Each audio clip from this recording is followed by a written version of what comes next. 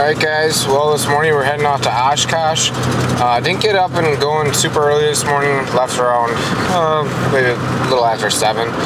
Anyway, we're going to be taking out the long rod today, um, at least to start with. I, I don't know for sure that I'll do that all day, but I think we'll be doing the long rod for mainly bluegills in the morning, uh, mixed in with a couple perch and crappies, hopefully. If that doesn't work, we might uh, slip out into some deeper water for some perch, but I'm hoping we can get some good action and get a good video with the bluegill. Uh, weather looking coming up is not looking great for spearing, which is pretty sad. Uh, I mean, I think we'll get out second or third weekend. i am kind of holding out hope we'd at least get out in the wheelers. But, I mean, if it's going to be 50 degrees two days before, it's going to be tough to even get everything set up because you're not even going to know what the ice is going to be like the next day. So, um, that's kind of sucks. But anyway, that's where we're at right now. It's February 1st, and I'm heading out to Lake Winnebago. So we're gonna do some ice fishing today and hopefully as long as ice is good today, that's all we can really worry about. So anyway, we're heading out now and see when we get out there.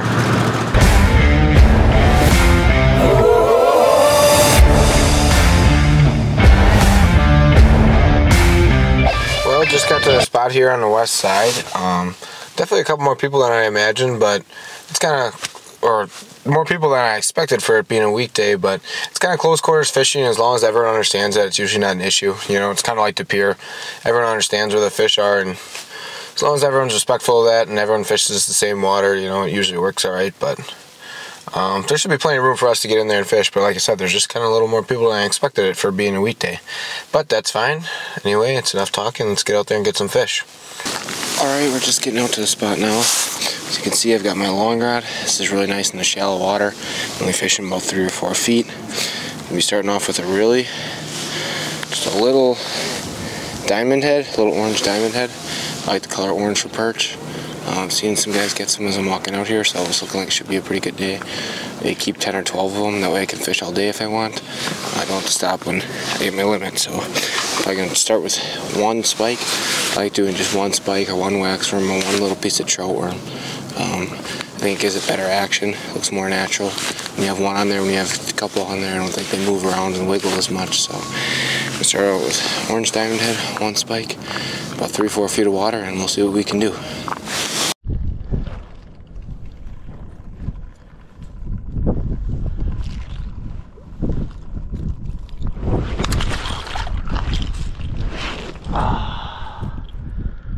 Well, we learned a lesson on that one. Don't try and pull the big ones out of the hole. I know that. I was just getting lazy. Damn it. Not gonna make the same mistake on this guy. Huh? The perch is over eight. Well.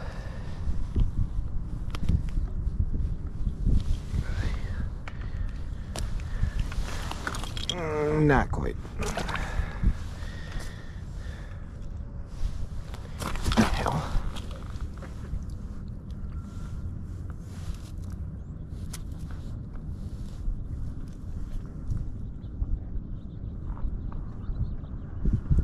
Well, I have no idea what's wrong with that perch, but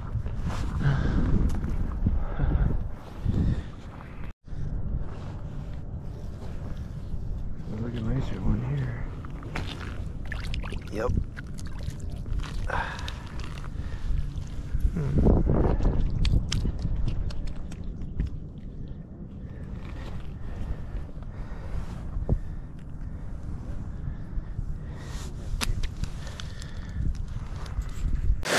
Alright, I'm going to explain a little bit of what I'm doing here. Uh, first off, I'm in about three feet of water, three to four.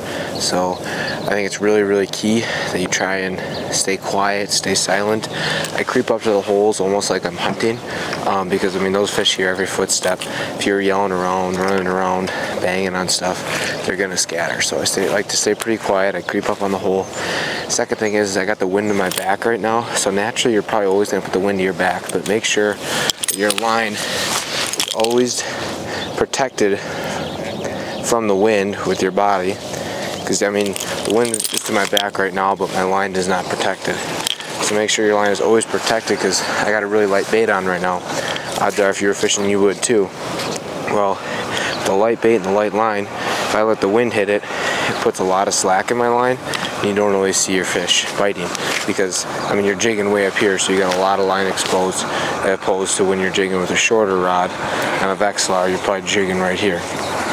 So protect yourself, protect the line from the wind. The other thing is, is oftentimes you drop it down to the bottom, which is right here, and then you jig up, and that's how they hit it. But that's two times I've been out here on Winnebago. So I got my got my bait here. Get it in the hole. Well, I start working that bait as soon as I get it below the ice. So I start jigging, and the cadence that's been working, it's been jig, move it down six inches, hold it still and jig, pause. Jig, move it down six inches, hold it still and jig, and then pause. And then you just do that all the way down to the bottom. And if the, you know, there's three, three to four feet of water with weeds. If they're not seeing your bait from a really long way away, so I pretty much I start working that bait as soon as I get it below the ice. And by the time I hit the bottom, I pull up and move to the next hole. A fresh hole is always a better hole, so I'm constantly moving around. Probably, I have no idea. I don't have a Fitbit, but I'd imagine I got quite a few steps in today, just going from hole to hole to hole. So I don't give it too long. I start working that bait as soon as I get it below the ice. On the drop, they don't hit it. Boom, I'm on to the next hole. But that's what we're doing. Just been poking around, working around with the long rod. Long rod's really nice. You don't have to reset your line every time. You just get to fight them with the rod. And obviously, if you do get a bigger fish on, you still got, you know, a spool of line to work with them. So that's what we're doing today, and hopefully we can get a couple more.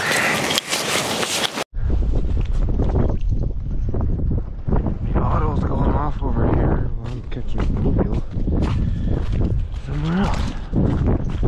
Yeah, he's still on there.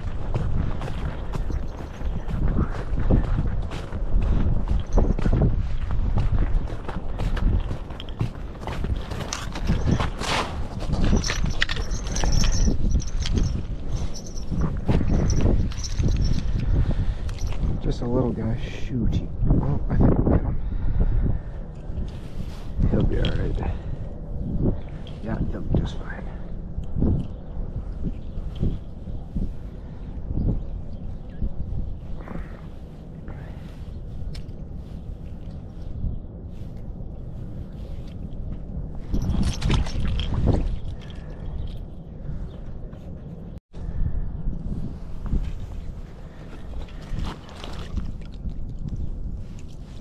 Ooh, nice one.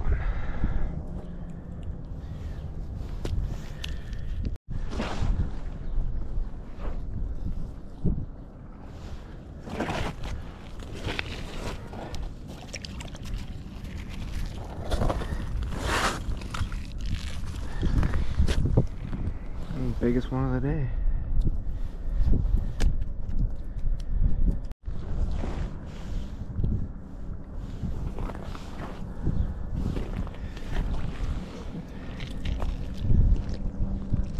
Oof. I might have just topped it.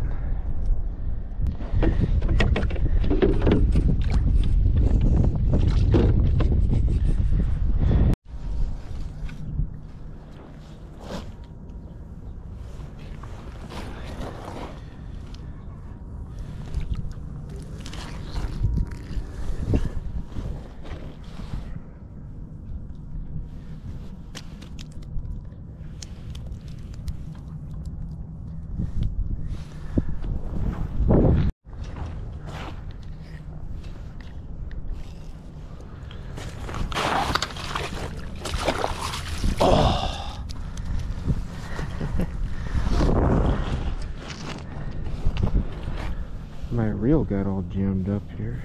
Probably should get a new reel for this rod. But I couldn't reel and I gave him a little slack and he popped off in the hole. But we got him out.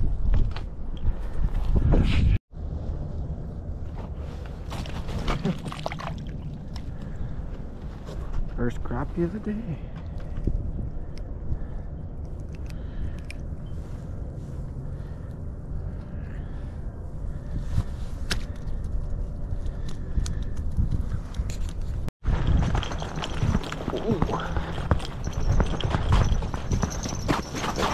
nice fish on here. Shoot. and that's how you put minnows out.